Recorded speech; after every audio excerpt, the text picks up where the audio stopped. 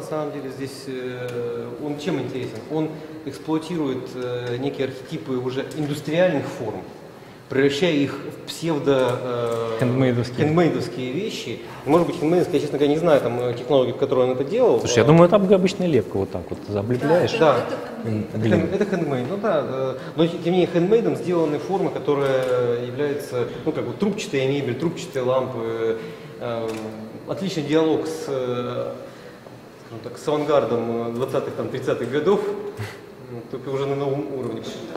А понимаете, э, дело в том, что вот этот Limited Edition это провозвестник того, что э, очень скоро там вы сами себе сможете э, сделать свой стульчик по таким же технологиям. Вот вообще просто э, придя не в магазин, а в мастерскую, к примеру.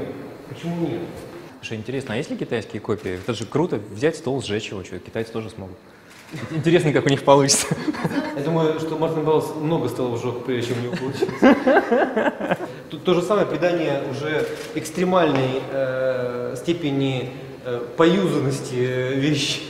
Вот такие интересные эффекты, которые не, не скучно наблюдать. Они еще и тактильны. Прекрасно. Слушай, Саша, я, я, я нюхал, а- она еще пахнет горелым. Вот если, если понюхать, не, вот, вот, вот шкаф пахнет, а вот это, вот это уже это самое. Нет, может быть, не, не пахнет, вот шкаф, шкаф, шкаф пахнет точно. С- Стучу, ковыряю, да-да-да. Над- Надо мной заказчик один смеялся, что типа, вот они все, вот, вот пахнет, да. Чувствуешь? Вот он посто- постоял, он нормально пахнет. Да, да, да. Такой, звоните, ну реально поздно. Саш, это надо выставлять не в, не в галерее, а в пожарной части. Это был, вот, вот дизайнерский цинизм такой.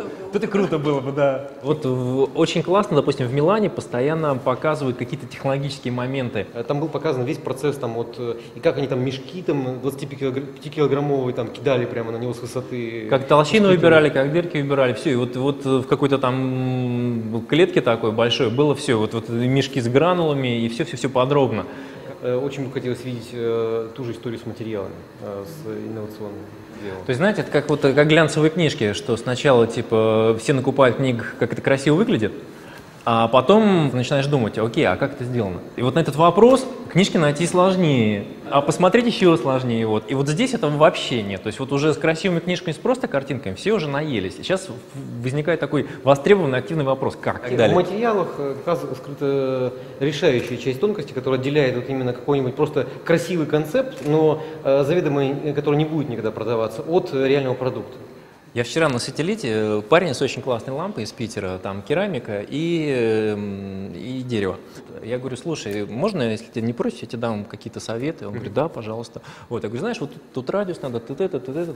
Он такой стоит там чуть ли не под запись, говорит, слушай, тебе говорит, преподавать надо. Я говорю, знаешь, мы, у нас другой статус сейчас, мы, говорю, как арт-директора, я могу прийти и просто сказать, что надо доделать. И Этого не хватает, в больницах не хватает, там, в, э, в крупных компаниях не хватает, что пришел архитектор, там, не знаю, там, в ЦДХ в том же, должен прийти человек и сказать, ребят, надо сделать навигацию, чтобы было понятно, куда идти. Э, Не надо все переделывать, надо просто, чтобы человек пришел и поменял какие-то детали, но это улучшило, значительно улучшило вообще ощущение целиком. Вот, говорю, мы сейчас вот такие арт-директора, можем прийти какими-то нюансами, там, поменять ощущения, да-да-да. Неважно, касается это дизайна, там, как бы пространств, там, или еще чего-то. Самых-самых-самых разных вещей Да, вообще. то есть это какое-то позиционирование как, а вы кто? Ну вот мы эксперты, эксперты, арт-директора приход- приходящие. Moscow Design Week is organized by Art Trading Group. The official car of Moscow Design Week is a Range Rover.